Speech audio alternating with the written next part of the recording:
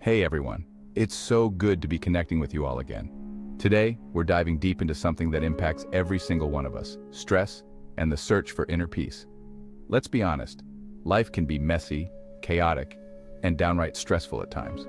We're constantly bombarded with demands and expectations, and it's easy to feel overwhelmed.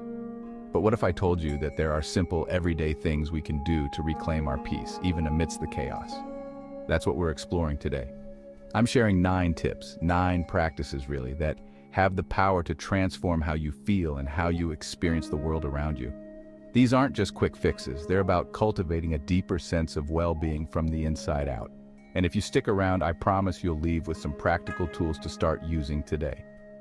Don't forget to hit that subscribe button so you don't miss out on future videos.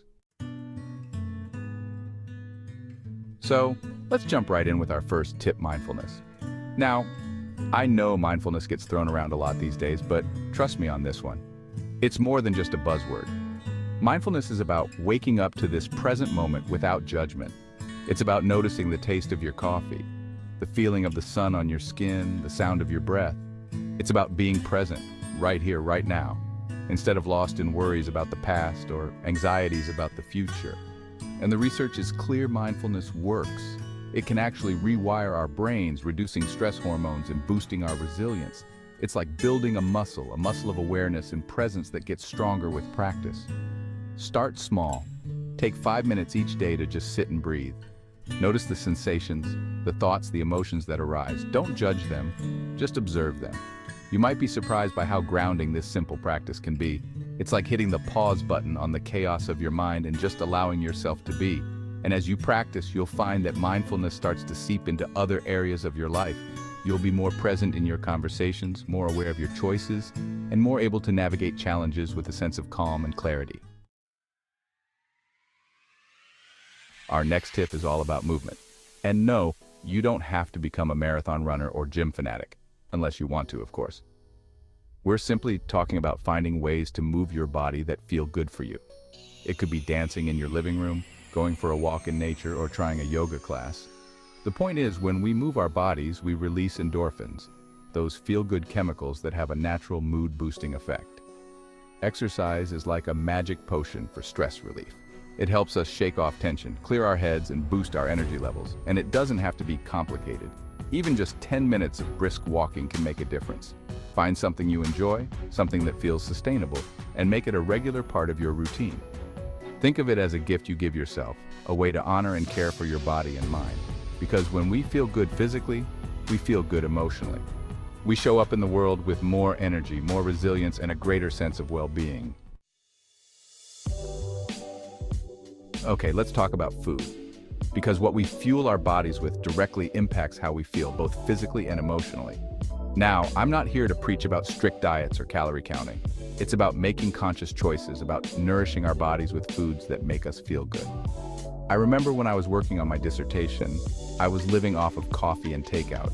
I was constantly stressed, my sleep was a mess, and my energy levels were non-existent. It wasn't until I started making small changes to my diet, like incorporating more fruits, vegetables, and whole grains, that I started to feel a difference. It's not about deprivation, it's about nourishment. It's about choosing foods that fuel our bodies and support our overall well-being. And listen, life is too short to be miserable about food. Enjoy that piece of chocolate, savor that glass of wine. But also, be mindful of how certain foods make you feel. Pay attention to your body's signals and make choices that support your energy, your focus, and your overall sense of well-being. Chapter 4. Let's talk about sleep something many of us sacrifice in the name of productivity or busyness. But sleep is not a luxury, it's a necessity.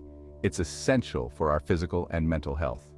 When we sleep, our bodies and minds can finally rest and recharge. We all know how we feel after a bad night's sleep, groggy, irritable, and unable to focus. Chronic sleep deprivation can have serious consequences for our health, increasing our risk of everything from weight gain to heart disease. Prioritizing sleep is an act of self-care.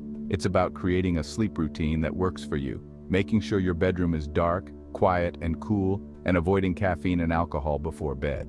It's about giving yourself permission to rest, to unplug from the world, and to allow your body and mind to fully recharge. And when you wake up feeling refreshed and energized, you'll be amazed at how much better you're able to handle whatever the day throws your way. Chapter 5 This next tip is something you can do anytime, anywhere, and it's completely free. I'm talking about the power of deep breathing. When we're stressed, our breath becomes shallow and rapid. This signals to our bodies that we're in danger, triggering the fight or flight response. But by consciously slowing down our breath, we can actually calm our nervous systems and shift out of that stress response. Deep breathing has been shown to lower blood pressure, reduce anxiety, and improve sleep. It's like a reset button for our nervous systems. Try this. Inhale deeply through your nose, counting to four. Hold your breath for a count of four. Exhale slowly through your mouth, counting to four again. Repeat this several times, focusing on the sensation of your breath. It's such a simple practice, yet it can have a profound impact on our physical and emotional well-being. Keep this tool in your back pocket for those moments when you need to find a sense of calm amidst the chaos. Chapter 6 Have you ever noticed how spending time in nature just makes you feel better? There's something incredibly grounding and restorative about connecting with the natural world. Whether it's a walk in the park, a hike in the woods, or simply sitting under a tree, nature has a way of calming our minds and soothing our souls. Research shows that spending time in nature can reduce stress hormones, lower blood pressure, and improve mood. It's like a dose of natural medicine for our well-being. Make it a ritual to connect with nature in some way, even if it's just for a few minutes each day. Step outside, breathe in the fresh air, and feel the sun on your skin. Notice the colors, the sounds, the scents around you. Allow yourself to be fully present in this moment, appreciating the beauty and wonder of the natural world. In our hyper-connected world, it's easy to get caught up in the constant stream of information, notifications, and demands on our attention. But all of this screen time can take a toll on our mental health, increasing stress, anxiety, and sleep problems. Setting boundaries around our screen time is crucial for protecting our well-being. This might mean designating certain times of day as tech-free, creating a no-phone zone in your bedroom, or simply being more mindful of how much time you're spending scrolling through social media. Remember, your time and attention are precious. Choose to spend them on things that nourish your soul, not drain your energy. Disconnecting from the digital world allows us to reconnect with ourselves, with our loved ones, and with the present moment. Gratitude is more than just saying thank you. It's a state of being, a lens through which we choose to view the world. When we focus on what we're grateful for, we shift our attention away from scarcity and lack and toward abundance and appreciation. Gratitude has been shown to increase happiness, improve relationships, and boost resilience. It's like a muscle we can strengthen with practice. Start by keeping a gratitude journal. Each day, write down three things you're grateful for, no matter how small. It could be a warm cup of coffee, a sunny day, or a kind word from a friend.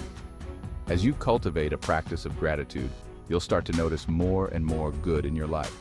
You'll find yourself focusing on the positive, appreciating the little things, and feeling more content with what you have.